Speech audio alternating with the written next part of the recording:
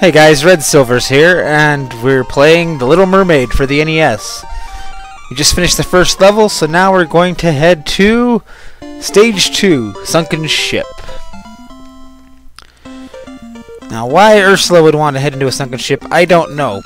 But if we dig in this sand, we can get a seashell. Once again, use seashells for offense. And this one we actually are going to want to use in this chest. And that's going to give us our second red power-up. Now, with that, we lose the range power-ups that we had before, unfortunately. Once you get a new power, you lose the range. Kind of an odd decision, but...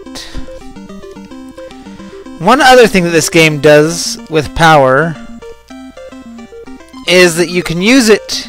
It affects how if you can push certain things. With enough power, you can push that barrel and open that chest that way. And I say that's kind of an odd design decision because sometimes there's power-ups you can't get because you don't have power-up, and you'd think that would be when you would want to be able to push something. Now that we have this power-up, though, we can get the big octopuses. And there we'll take a dinglehopper. That's what they call the forks in the movie. And since we can push that barrel, we'll go ahead and get a new range power up.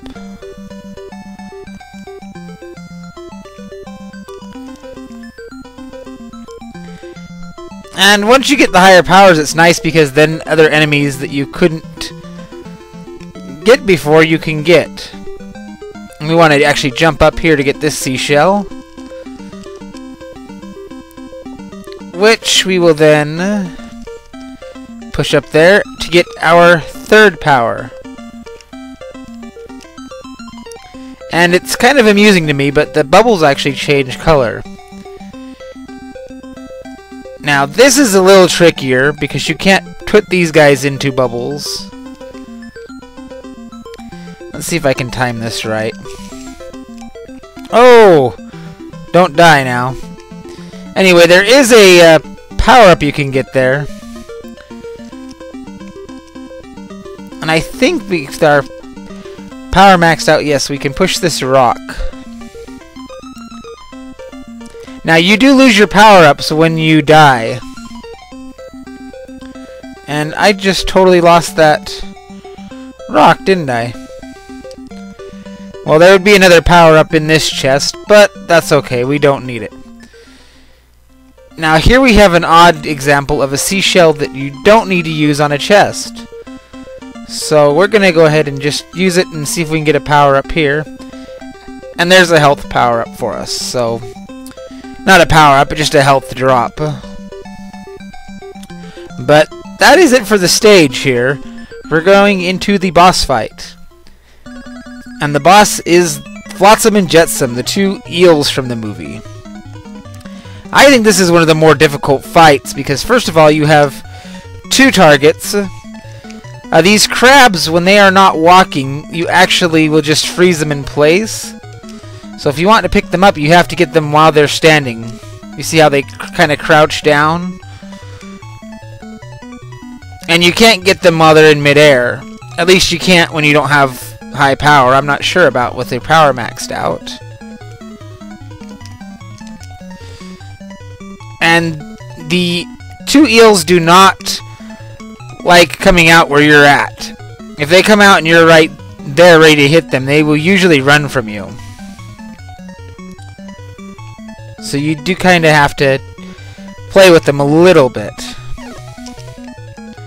See, if you saw there, he kind of ran away from me. Okay, one's down. And one's running away from me.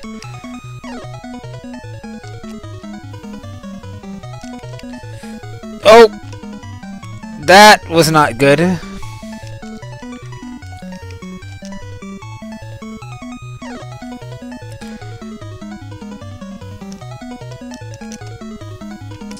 But really, like I said, the trickiest part of this fight is that the crabs move the way they do. Uh, you might have seen I can throw my bubbles diagonally as well as up. I cannot throw them downward though, so when they are above me, I can hit them. When they are below me, I cannot. And really, using your diagonal and your upward throws are really the easiest way to deal with this boss. But, even so, we did alright. We'll go ahead and get our points for our power-ups.